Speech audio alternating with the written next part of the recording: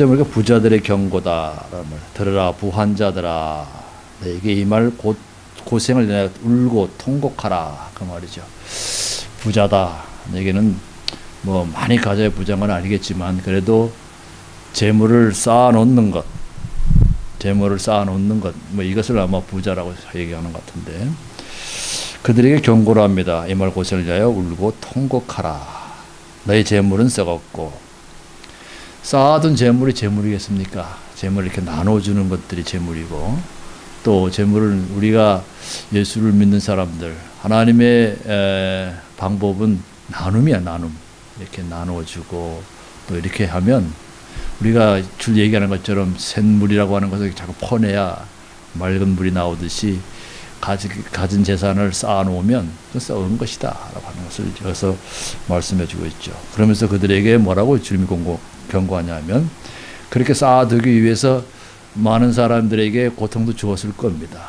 뭐 비즈니스라고 하는 것도 재물을 모으기 위해서는 각양 여러 가지 편법 써야 되고 그래야 모아질 수 있는 것이다. 그러죠. 특히 특히 하나님이 경고하는 건 뭐냐면 그 일하는 사람들의 그 대가를 지불하는 데 있어서 충분하게 대가를 지불할 수 있는 것.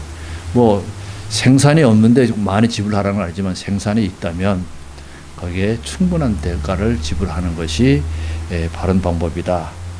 그래서 그들이 일하는 자, 일하는 사람들의 그 삶의 고통을 돌아보지 않고 자기들의 삶에 연락하고 하라 그러는 자기들의 삶에 화려한 삶을 살고 그저 이렇게 그런 삶을 사는 모습을 어, 어, 보면서 받아질 상처들이 있죠.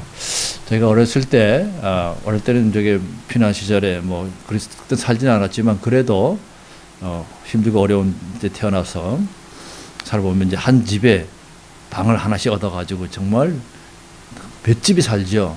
그러면 전기세가 나오면 그거 가지고 그냥 이론 더 내고 덜 내고 막 싸우고 이럴 때 그때 그 생각이 나 우리 목사님이 그때 오셔서 뭐라 하냐면 그리스도인들은 싸우는 게 아닙니다.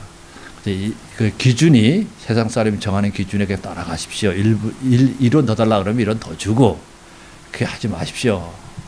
처음에 그게 야박하게 들렸는데 우리도 힘든데 이론이라도 덜 주면 좋겠는데 그렇게 세상이 정한 기준에 그냥 그렇게 주, 줘서 하라는 얘기를 그 지금에 보면 상상 참 대단한 말씀을 그때 하셨다. 근데 그때 그 생각들이 있어서 아직도 어릴 때 그 들은 얘기지만 지금은 누가 계산할 때 오케이 그냥 그 세상이 정한 기준에 주고 하는 그런 생각이 있습니다. 오늘 말씀 보니까 다 그런 얘기죠. 그렇게 야박하게 계산해서 받아내고 그러면 그 상처받는 그 사람들이 있을 것이다라는 거예요. 그 사람들을 위해서 하나님께서 좀 더좀 좀 자기의 삶을 아주 윤택하게 하면서 어, 그 일하는 사람들에게 어, 배 사랑을 베풀지 않는 그런 모습들을 오늘 여기서 이렇게 말씀하는데 쌓아놓고 하면 그게 재워놓고 하면 그게 어, 썩는 것이다는 것이죠. 우리가 그런 얘기를 쉽게 합니다. 저 사람이 돈 좀 벌었어. 야, 그런데 저 사람이 딱 병들고 죽어가네. 쓰는 사람 다른 사람이 있네. 뭐 그런 얘기를 많이 하죠. 예. 살만 하니까 죽는다라고 하는 말을 그 많이 하잖아요. 참 얼마나 허무하겠습니까? 우리가 예수님이 비유로 말씀하신 것처럼 그 한 청년이 자 이제는 내가 많이 쌓아놨다 창고도 많이 짓고 많이 했다 내가 이제 편안히 살자라고 할 때 주께서 그렇게 말씀하시잖아요. 내 영혼을 오늘 이 밤에 내가 거두면 그게 누구것이 되겠느냐라는 말을 하죠. 그걸 보면서 어, 여기에 오늘 말씀을 보니까 어, 보라 너희 밭에 추수할 품꾼에게 주지 아니한 싹시 소리 지르며 추수한 자의 우는 소리가 만군의 주의 귀에 들렸느니라.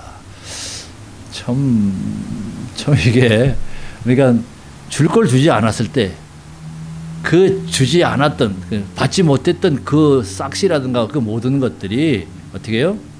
하나님께서 그 싹들이 소리를 지른다라는 말을 하잖아요. 그러니까 쉽게 얘기하면 하나님은 듣고 다 알고 계신다는 거죠. 듣고 계신다는 겁니다. 추수한 자의 우는 소리가 만군의 주의 귀에 들렸느니라. 너희가 땅에서 사찰하고 연락하도 하여 도사라의 날에 너희 마음을 살찌게 했도다. 너희가 옳은 자를 정죄했도다. 또 죽였도다. 그는 너희에게 대항하지 아니하였느니라. 대항하지 못하죠. 종업원이라는 사람들, 일, 일꾼이라는 사람들이 뭐 주인이 뭐 들켜준다고 대항하지 못하잖아요. 그냥 참죠. 그렇게 이제 부자들에게 그, 그 쌓은 재물 쌓은 자들에게 경고를 하고 또 그, 그 대신 또 이 그 싹쓸 받을 사람들 일꾼들에게 하나님도 위로합니다. 자, 너희가 옳은 자를 정죄하도다 아니고 7절에 보니까 그러므로 형제들아 주의 강림하시기까지 길이 참으라. 보라 농부가 땅에서 나는 귀한 열매를 바라고 길이 참아 이른 비와 늦은 비를 기다린다. 자, 세상에서 얽매여서 뭔가를 하나를 더그 받으려고 하지 말고 주님이 강림하신다. 주님이 강림하실 때에 받지 못한 것들을 어떻게 보상할 것이다. 아멘. 그러니까 그러니까 길이 참으라. 그냥 참으라. 참으면 주님이 강림하실 때에 보상할 것이다. 또 그러면서 뭐라 그러냐면 농부가 땅에서 귀한 열매를 이렇게 맺기 위해서 맺기 위해서 기다리잖아요. 끝내 끝까지 언제 비가 올 때까지 비가 내리고 그 비가 내려야만 농사가 되니까.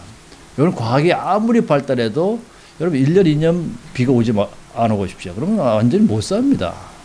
땅이 마르면 온도가 올라가잖아요.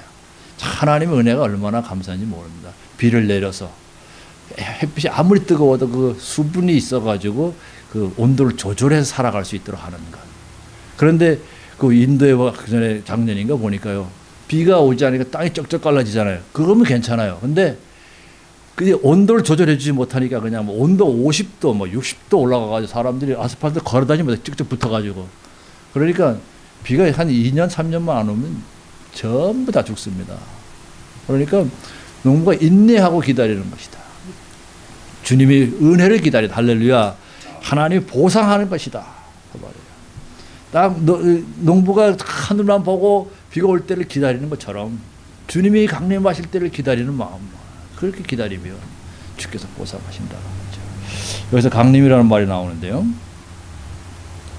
주님이 이 땅에 오시는 것은 두 번째 오시니까 재림이죠. 그러나 스님이 공중 강림은 강림입니다. 그래서 우리 강림하고 재림하고 좀 이렇게 에, 이렇게 좀 분별해서 좀 써야 되겠는데 주께서 공중 강림을 분명하신다. 어, 대사로전서 5장에도 보면 주께서 강림하시리니 공중 강림하셨다가 혼인잔치 끝나고 이제 이 땅에 재림하시잖아요. 그래서 주의 강림을 강림하시기까지 길이 참으라. 보라 농부가 또 8절에 보니까 너희도 길이 참고 마음을 굳게 하라. 주의 강림이 가까운 너희가 길이 참고 마음을 굳게 하라. 주의 강림이 가까우시니라. 형제들아 서로 원망하지 말라. 그리하여야 심판을 면하리라. 보라 심판자가 문 밖에서 계시니라 심판자가 예수님 아닙니까 예수님이 우리의 문 밖에서 서 계시는 것이다. 다 보, 한마디로 얘기하면 다 보고 계신다는 거죠. 다 보고 계시니까 그렇게 억울해하지 마라. 원망하지 마라. 보상은 하나님이 하실 것이다. 심판자이신 예수님이 보상을 하실 것이다. 형제들아 주의 이름을 말하는 선자를 선자들로 고난과 오래 참음을 본삼으라. 그리고서 또 인내하라고 말씀하면서 욥의 인내를 얘기하죠. 욥의 인내가 보니까 우리가 뭐 너무 잘 알잖아요.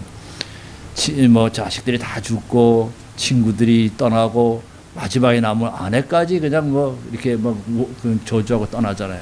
그것까지 좋은데 또 자기 몸에 온전히 악창이 나가지고 그냥 재에 앉아가지고 벅벅 긁고 있는 그 심정은 우리가 차마 이해를 하겠습니까? 그러나 그 그러나 그 뒤에 하나님의 뭐예요? 결말이 있다는 거예요.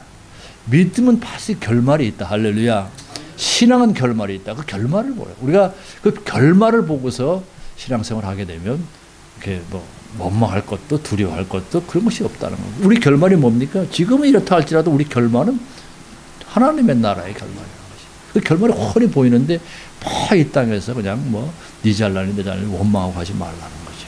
그래서 욥의 인내가 바로 그거라는 거예요. 욥의 인내 뒤에 결말이 어디 보지 않았느냐? 그러니까 인내하라. 할렐루야. 주의 가장 자비하시고 국률이 여기시는 자신이라. 아멘.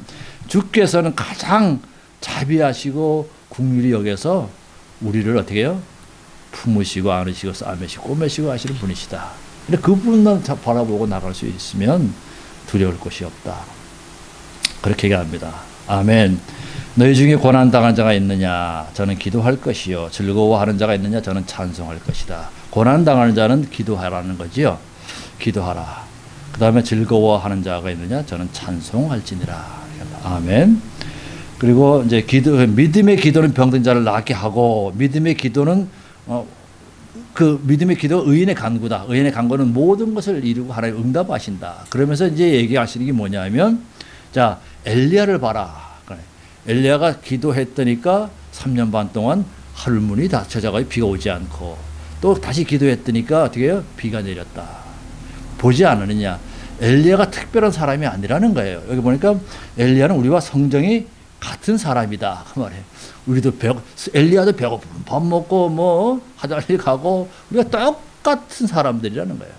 우리가 볼 때 엘리야는 특히 어 하나님 능력을 받아 특, 특, 특별한 사람인가 이렇게 생각할 수도 있는데 그게 아니라 우리가 성정이 똑같아. 아프고 배고프고 뭐 음? 아마 엘리야도 화나면 욕도 했을 것이다. 여기 성정이 똑같다니까. 그러, 그래도 그가 기도해서 그렇게 한 것처럼 너희도 그렇게 기도하라. 믿음의 기도는 모든 것을 이루느니라. 이렇게 말씀하고 있는 것입니다. 그래서 오늘 본문을 통해서 우리가 가져야 할 것은 어, 원망하고 고통, 어, 원망, 원망하지 말라. 하나님이 보상할 것이다. 뭘 더 받겠다고 하지 말라. 하나님이 그 모든 걸 채워줄 것이다. 부자들의 경고는 쌓아두지 마라. 그것이 너희들이 주지 않은 것은 하나님이 다 들으시고 보고 계신다. 그래서 그 마지막 때에 하나님이 그대로 심판하실 것이다. 또 하나는 뭐냐면 우리가 주님이 가까이 강림하신다. 주님이 강림하실 때 이 세상의 모든 것은 끝이 난다. 위로할 자는 위로하고 거둘 자는 거두고 사랑할 자는 사랑해 주는 것이다라는 거예요. 그것이 주님이 강림하신 목적이라는 거예요. 할렐루야. 그 강림하실 때 우리가 다 들림 받아야 한다는 거고 또 하나는 고난 당한 자가 있느냐 기도하라. 기도하는데 엘리야의 성정이 어떠느냐 우리가 똑같은데 그가 3년 동안 3년 반 동안 기도해서 비가 오지 않게 하고 그러니까 하늘 문을 열고 닫고, 닫고 하는 것을 엘리야가 했다. 기도로. 마찬가지다. 성정이 똑같아 너희들과. 그러니까 너희들도 기도하면 하늘 문을 닫고 열 수 있는 그런 기도의 응답이 있을 것이라는 것이야. 그렇게 그 결말을 요배의 인내의 결말을 보는 것처럼 그렇게 해서 우리 참된 믿음의 사람으로 살아갈 수 있는 저 여러분 되어질 주 이름을 축원합니다.